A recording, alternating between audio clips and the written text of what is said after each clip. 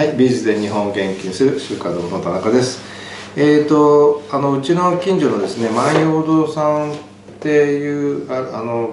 まあ美術商さんからですね、えー、良寛牧集という本が送られてきました。えーとね、まあ良寛のコレクションではこの万葉堂さんすごく有名なお店でしてね、あのまあオークションなんかで一緒に行くと大体の万葉堂さんに、えー、と競り負けますけどね。でもあのすごくいいコレクションまあ新潟出身でいらっしゃるんですね。関谷さんってあの社長さんがですね、まあ、その関連もあって良寛のものをずっと集めになってるんですね。これまだ僕も届いたばっかりでまだあの詳しくは読んでないんですが、まあ、とてももう見ただけで素敵な本であるけどね良寛の名筆があの本にちりめられてます。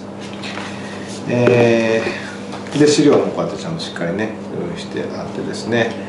えーと、その僕らは偉い人だからあのその人の書を見るっていうこともありますけど反対にあの書を見てるとですねこの人は偉い人だなって伝わってくる、まあ、あの筆跡っていうものもあるんですよね。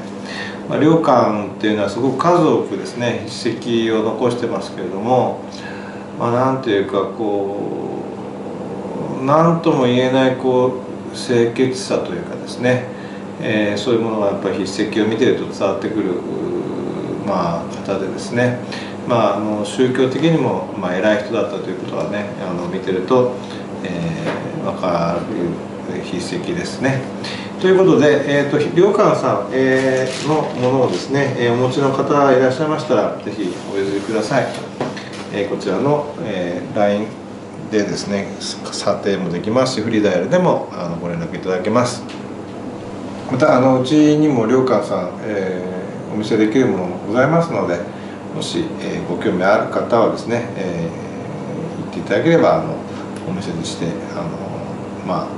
お礼することもできますので、えー、どうぞよろしくお願いいたします。はい、ありがとうございます。